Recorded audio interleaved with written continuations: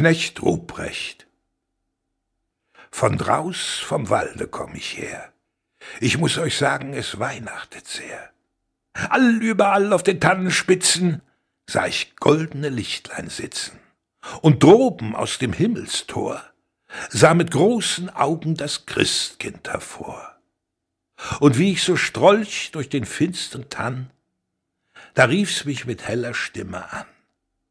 Knecht Ruprecht rief es, alter Gesell, hebe die Beine und spute dich schnell. Die Kerzen fangen zu brennen an, das Himmelstor ist aufgetan, alt und Junge sollen nun von der Jagd des Lebens einmal ruhen.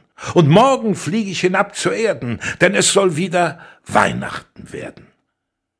Ich sprach, o lieber Herr Christ, meine Reise fast zu Ende ist. Ich soll nur noch in diese Stadt, wo's eitel gute Kinder hat. Hast denn das Säcklein auch bei dir? Ich sprach, das Säcklein, das ist hier, denn Äpfel, Nuss und Mandelkern essen fromme Kinder gern. Hast denn die Rute auch bei dir?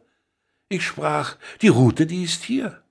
Doch für die Kinder nur die Schlechten, die trifft sie auf den Teil den Rechten. Christkindlein sprach, so ist es recht. So geh mit Gott, mein treuer Knecht. Von draus vom Walde komm ich her. Ich muss euch sagen, es weihnachtet sehr. Nun sprecht, wie ich's hierin find. Sind's gute Kind? Sind's böse Kind?